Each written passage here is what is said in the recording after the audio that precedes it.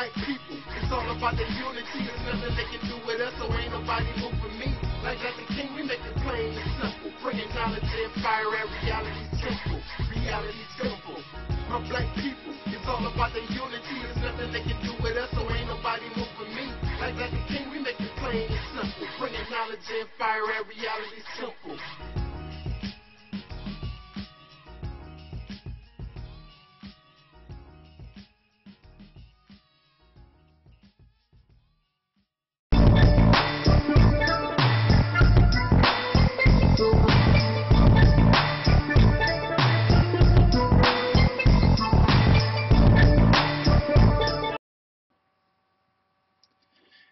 In the name of my ancestors, peace forever and always, and welcome to another edition of the Reality's Temple on Earth Internet Ministry. Of course, I am the gatekeeper or the host of this particular program, known here on the internet around the world. I am known as the mighty, mighty, mighty. Mm. Angelsnupnup7. I am your brother, and hopefully your friend, Talik Ibn Ra. Wow. I know, I know. All right, okay, come on. We, we're going to talk about this. I'm already in trouble due to the title of this particular video. And the title that I've chosen, the subject that I've chosen for the next 10 minutes is it is impossible for believers in God to tell the truth. I know, I know I'm in trouble. Just calm down, settle down. Let's let's let's let's not get angry. What brings me to this specific oh wow, tongue tied. Y'all got me nervous. What brings me to this particular topic is that I saw a young brother who calls himself a Hebrew Israelite, I believe. Or was it a Moor? I believe he's a Hebrew Israelite.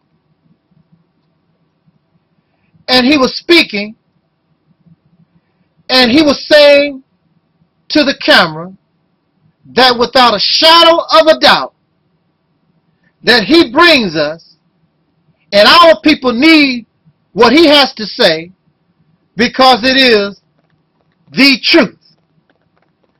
And I looked at him and I listened to what he had to say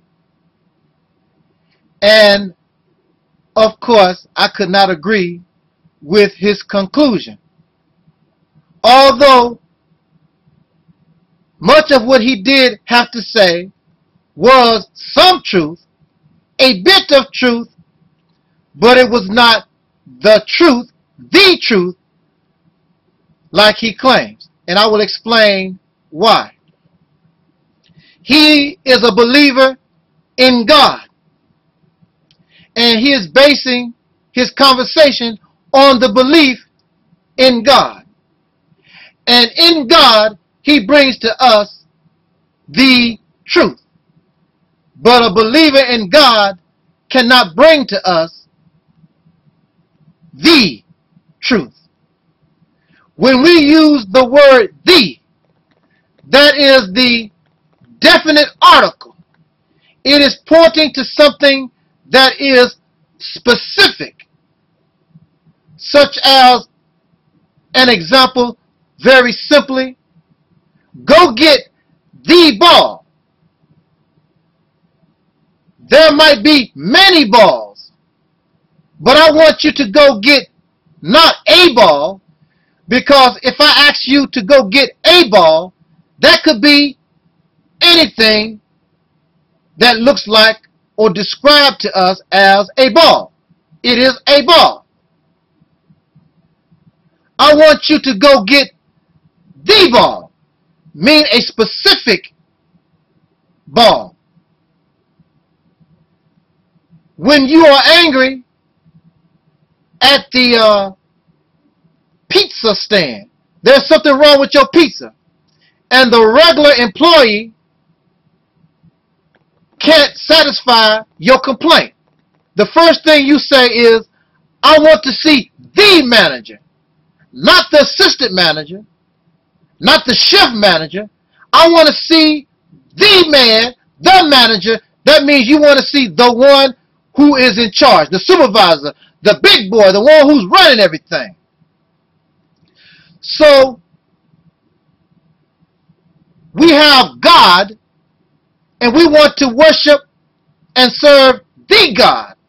Although God have children, you may be considered a God, but when we speak about God, we want to go to the man in charge. We want to know about the God. So the is pointing us towards something that is specific. And then we have truth. What is truth? Very simply, truth is facts. If you don't have facts, you cannot have truth. And those facts are consistent with reality.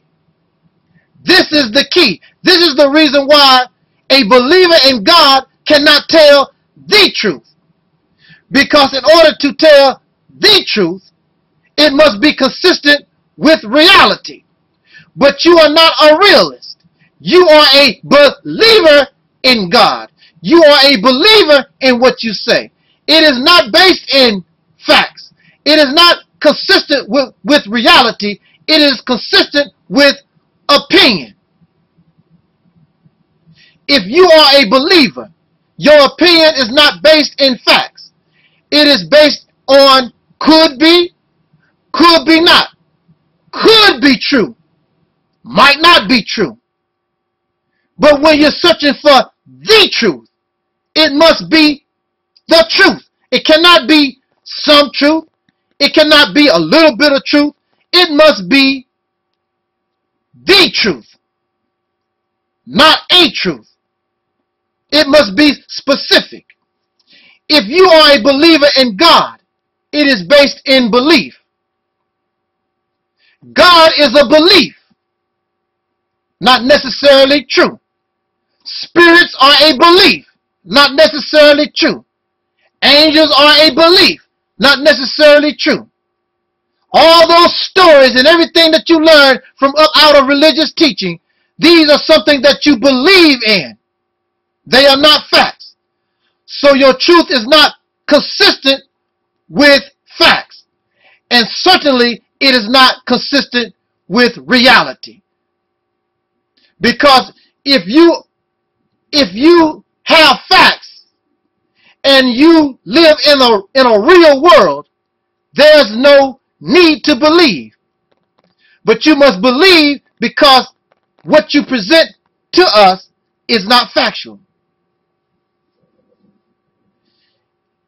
If what you say was real truth, then how can believers in God be so weak if you believe in the truth and you carry the truth?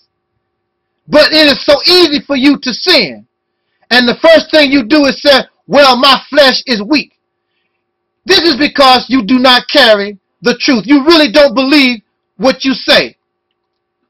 In Christian teachings, they teach us, and we are taught, that God is everywhere. But it is easy for you to sin. If you thought God was sitting next to you, and you really believe that, how could you sin? You are a liar, and you don't carry the truth. You have a truth, and you have some truth, but you don't have the truth. Definitely, you don't have the real truth. And then you talk about love. But many religious believers are the most hateful people. Those who are have some type of belief in God and some supreme being. They are the most hate-filled people, vulgar and nasty people that you can run into when you are on their bad side. you believe in the truth, but you don't want to talk about the truth of the matter is your religion, your belief, and the only reason why most of you believe what you talk about is because that religion was forced on people hundreds of years ago. You don't even want to admit that truth, but you said that you stand for truth. You don't want to talk about how much harm your religious teachings have brought to this planet. How many innocent people, how many babies and women and children and grown men have been murdered and slaughtered and killed? How many towns have been burned down and civilizations destroyed because of religious belief? You don't want to talk about that. You want to talk about your belief and this fantasy of love that you don't even represent. So how can you tell me that you have some truth that is good for the human family when you cannot accept the truth that your religious belief system came from up out of and the only reason why it exists was be was due to violence extreme violence. And even in yourself you are a sinner an easy sinner and you make excuses. There are so-called atheist people who are more righteous than any believer in God. And I know that myself. I know I can place myself before any of y'all believers in God. And I know I am more righteous than most of you, the majority of you. And if God is a just God, and on the judgment day, although I might not cry Jehovah, I might not cry Yahweh or Jesus or Muhammad or Allah, on the judgment day, if God exists and this God is fair, how would this God choose you who are a sinner? You backslide. You are drunk. You profane. You hate filled. All these things. You're a fornicator and an adulterer. How would this God, if this God is just, choose you to go to heaven because the only thing you did was shout the name of the God while the so-called atheists, the one who say that they don't believe in God, actually practicing righteous behavior. If God would choose a sinner over the righteous, then I would be so happy and glad that I rejected the belief and the worship and the serving of, of a God that is not just and just as wacky as the believers are. So I have proved believers in God, you can bring some truth, a bit of truth, a tap of truth, but you cannot bring to the masses the real truth because truth is not based in belief. It is based on facts consistent with reality. And what you talk about is based in belief. That is not my fault. If you choose to relinquish such belief, then maybe you will find the real truth. And if you do find the real truth, you will find that things really are much, much better, much, much easier just to accept your reality. And your life really would be much, much happier than trying to live up to something that you know that you can't. Jot down your comments. Let's talk about it. This your brother Taalik Ibn'rad. This was and is the Reality's Temple on earth.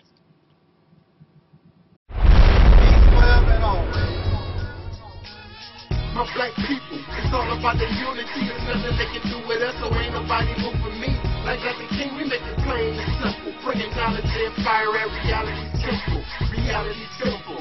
My black people, it's all about the unity. There's nothing they can do with us, so ain't nobody me. Like. King, we make it plain and simple. Bringing knowledge and fire at reality temple.